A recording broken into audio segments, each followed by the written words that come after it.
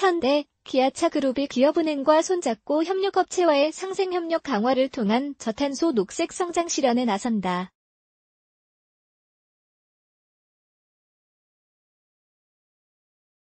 현대, 기아차는 17일 충남 현대제철 당진공장 홍보관에서 기업은행, 신용보증기금, 기술보증기금과 업무협약을 체결하고 현대, 기아차 녹색설비 브릿지론을 실시한다고 밝혔다.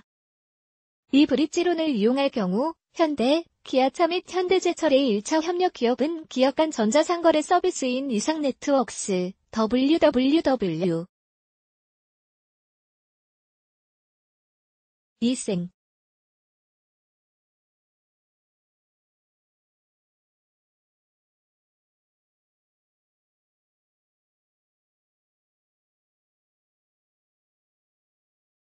넷을 통해 2차 협력업체로부터 구입하는 원자재 및 용역 등의 구매 자금을 계약 금액의 80%까지 대출 형태로 지원받을 수 있다.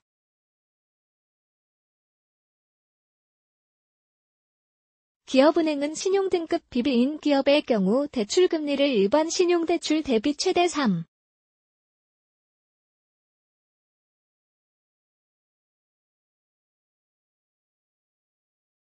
5%포인트 저렴하게 제공, 금융비용을 절감토록 했으며 신용등급 BBB 이상 우수 협력기업에 대해서는 기존 신용대출 한도의 최대 4억 원까지 추가로 신용대출을 지원한다. 또 보증한도도 신용보증기금과 기술보증기금의 보증서 지원을 통해 최대 100억 원까지 특례 지원이 가능하다.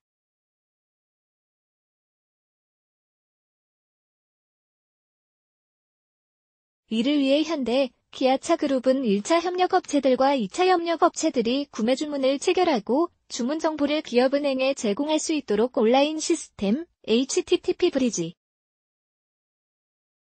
바츠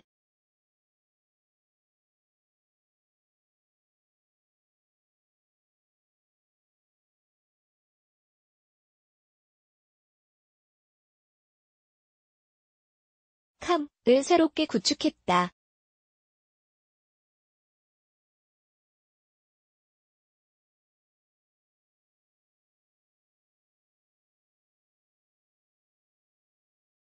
현대, 기아차는 브릿지론을 통해 협력업체들 간의 자금 유동성을 확대하고 1차 협력업체뿐만 아니라 2차, 3차 협력업체들까지 그 지원 효과가 파급될 것으로 예상하고 있다.